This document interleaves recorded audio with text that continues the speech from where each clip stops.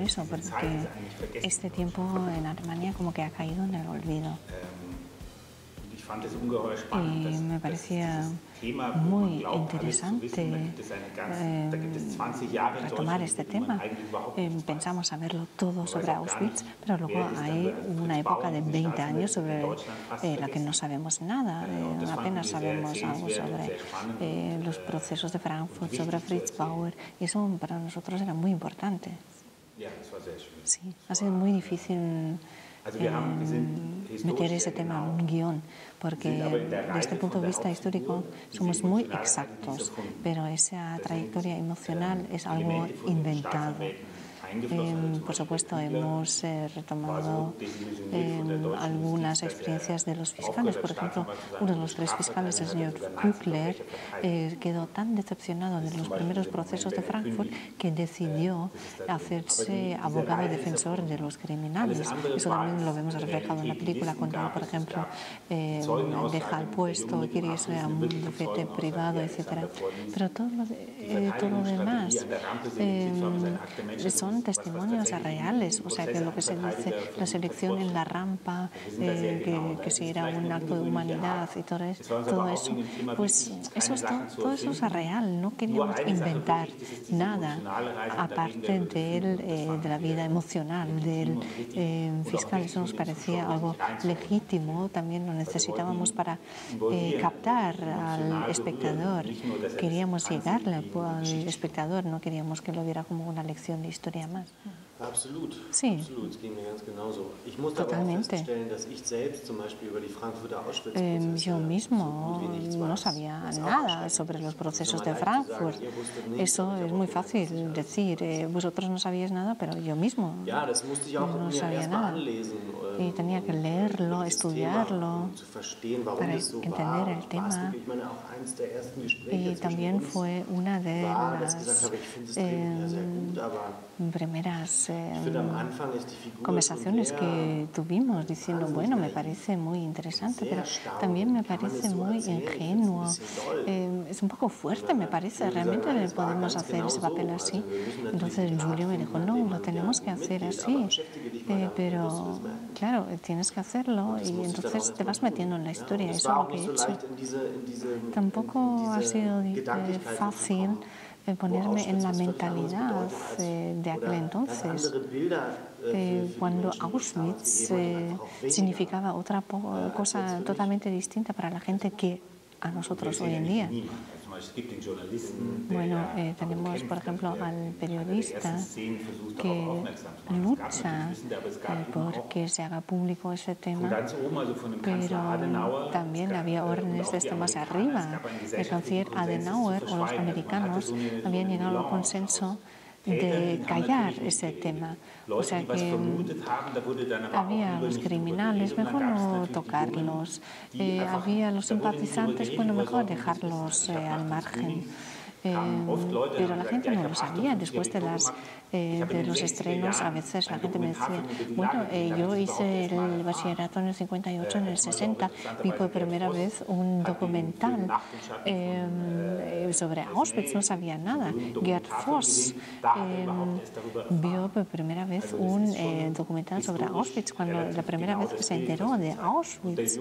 Y Gerd Wiese, que el fiscal que aún vive, que nos ha ayudado muchísimo, que había estado en eh, un campo de prisioneros de guerra en Rusia, allí leyó sobre Auschwitz, entonces todo el mundo le decía que era propaganda. Pero entonces en el 62 llegó a la Fiscalía de Frankfurt, en donde se le dio un libro que era el testimonio de eh, eh, un, comandante del campo de Auschwitz. Entonces la primera vez, eh, fue la primera vez que se enfrentó a ese tema. Y él era, había estudiado Derecho y no sabía nada de ello. Pero de alguna manera es una mezcla entre los criminales o también simpatizantes que lo querían reprimir o también los jóvenes que no sabían nada. Bueno, siempre hay algún que otro idiota en todos los países, pero Auschwitz eh, ya se ha tratado, o sea que eh, se ha asumido de alguna manera, pero se ha necesitado un tiempo. En la película hay un eh, documental sobre Fritz Bauer, pero no ha habido una película sobre ello. Y antes de estudiar ese tema, yo diría, bueno, pues sí, existía el nazismo, Auschwitz, pero después del 95 Alemania empezó a hacer limpieza. Pero no, la realidad es distinta. Después de la Segunda Guerra Mundial, Alemania intentó callarlo durante 20 años para no enfrentarse a esa realidad. Después empezaron los a principios de los 60 los procesos de Eichmann, de Auschwitz, etc. Entonces empezó todo ello. Yo antes no lo sabía. Sí, ha sido muy interesante y es muy gratificante tener esa posibilidad, pero muchas veces no sabes qué es lo que estás buscando realmente te enteras de algunas cosas, pero no sabes si eso te ayuda a la hora de actuar o no. Él me ha contado eh, su vida. Y también en un momento dado me decía, nosotros íbamos al trabajo como cualquier persona. y eso me ha llamado mucho la atención porque es muy importante ver también esta faceta, esa cotidianidad de su trabajo. Y también tiene que buscarle un sentido a su trabajo diario. y esa parte práctica eso fue lo importante que él me transmitió, transmitió. pero eso, no se, eso me ha quedado grabado, esa frase que íbamos al trabajo. A mí me pasó lo mismo porque al principio el rodaje fue muy complicado, problemas de tiempo, etc. Y después de tres días yo me quedé una noche en vela, o sea que no podía dormir, no podía dormir, o sea, a veces se dice no he pegado ojo, pero sí que has dormido, pero no. Yo he estado sin dormir eh, toda una noche, pero por la mañana me levanté diciendo no, vamos, vamos a ir poco a poco. Cada día vamos a fijarnos eh, una misión y la vamos a cumplir. Y yo creo que eso es lo que nos ha ayudado eh, a todo el equipo, ¿no? porque queríamos contar cada escena de la mejor manera posible. Yo siempre lo comparo con un monte. Uno quiere subir a la cumbre, entonces ves distintos eh, caminos para llegar arriba, etc.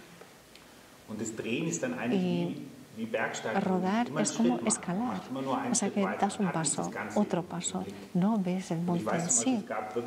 Y en el montaje, eso también es muy bonito, en la fase, una fase muy temprana, me di cuenta de que sí, eso tenía vida. Eh, ahí está el tema, ahí está el argumento. No es como Frankenstein, eh, con donde existen muchas escenas. No, eh, muchas veces estamos entre tinieblas, ¿no? O sea, no sabemos si eh, funciona. Y estamos luchando día a día. Eh, ese aspecto, esa humildad que, se, que nos damos, ¿no? no queríamos retratar Auschwitz a diario en esta película, sino que queríamos centrarnos en las escenas. Y estamos luchando con cada escena, ¿no?